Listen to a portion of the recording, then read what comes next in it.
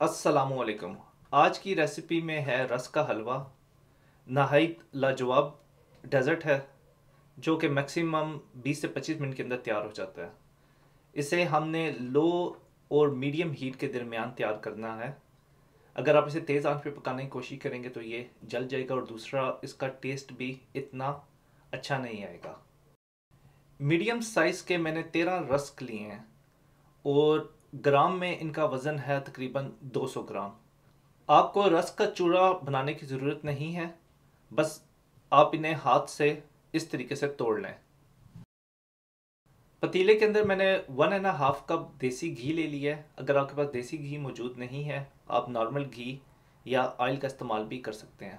इसके अंदर मैंने तीन अदद कुटी हुई इलायची डाल दी है और इसे तकरीबन 20 से 30 सेकंड के लिए लो मीडियम हीट के ऊपर फ्राई कर लूँगा। दूसरे हलवों की नस्बत, जो रस का हलवा है, इसके अंदर ऑयल या घी काफ़ी ज़्यादा इस्तेमाल किया जाता है। अगर आप कम घी या ऑयल का इस्तेमाल करेंगे, हलवा बन जाएगा, लेकिन उसका टेस्ट इतना अच्छा नहीं होगा। इलायची की खुशबू आने लग गई थी, जिसका मतलब ये है कि इलायची फ्राई हो गई है। अब हम इसके अंदर रस कैट करेंगे और उन्हें तकरीबन दो से तीन मिनट के लिए लो मीडियम हीट के ऊपर पका लेंगे। आप रस की साइड चेंज करते रहें ताकि ये इक्वली हर तरफ़ से ऑयल के अंदर फ्राई हो जाएँ। और जब ये फ्राई हो जाएँगे, हम इसके अंदर दूध ऐड करेंगे। तकरीबन तीन मिनट गुजर चुके हैं और आप देख सकते हैं कि रस के ऊपर ऑयल आपको नज़र आना शुरू हो गया होगा। अब हम इसके अंदर दूध ऐड करेंगे। दो कप मैं दूध ऐड कर रहा हूँ जो कि रूम टेम्परेचर पे है। और दूध ऐड करने के बाद हम इसके अंदर 100 ग्राम चीनी, जो तकरीबन हाफ़ कप है, वो ऐड करेंगे। ये रस मीठे हैं तो मैं इसके अंदर सिर्फ़ 100 ग्राम चीनी ऐड कर रहा हूँ।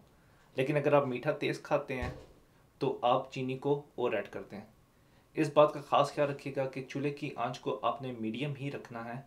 अगर आप चूल्हे की आँच तेज़ करेंगे तो जो दूध है, वो एकदम खुश्क हो जाएगा। अगर आप और दूध ऐड करेंगे तो आपका कुकिंग टाइम जो सा है वो इंक्रीज़ हो जाएगा।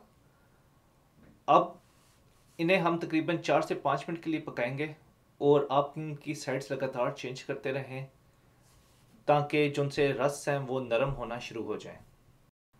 तकरीबन चार मिनट गुजर चुके हैं और रस काफ़ी हद तक टूटना शुरू हो गए हैं।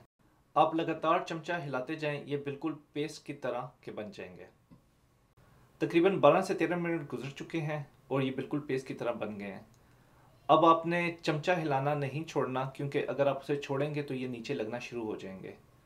आप इससे तब तक पकाएँ कि जब तक इसके अंदर से ऑयल निकलना शुरू नहीं हो जाता। लेकिन जैसा कि मैंने आपको पहले बताया है कि मैं इसके अंदर वन एंड हाफ़ कप घी का इस्तेमाल कर रहा हूँ। अगर आप वन एंड हाफ़ कप से कम घी डालेंगे, एक कप या हाफ़ कप फिर हलवे से ऑयल अलादा नहीं होगा और जब आपकी डिश तैयार होगी, ये इसी किस्म का पेस्ट होगा। अगर आपको लगता है कि आपकी डिश फाइनली इस तरीके से आई है तो ज़रूर आपने ऑयल कम डाला है। आप इसके अंदर इस वक्त भी और ऑयल ऐड करके इसे फ्राई कर सकते हैं।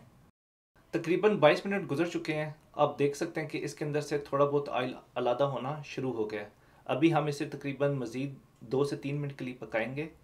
जो हलवे का रंग है, वो भी चेंज हो गया है। आप देख सकते हैं कि वो ऑयल के अंदर भुना हुआ नज़र आ रहा है। और दूसरा, इसके छोटे से क्रम्प्स भी बन गए हैं।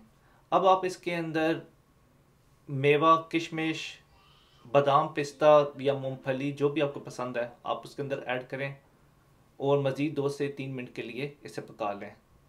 रस का हलवा तैयार है। अगर आपको ये रेसिपी पसंद आई है, इसे शेयर लाइक और सब्सक्राइब करना मत भूलिएगा।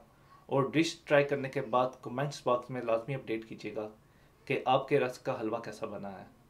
अनटिल द नेक्स्ट वीडियो अल्लाह हाफिज़ और अपना बहुत ज़्यादा ख्याल रखिएगा।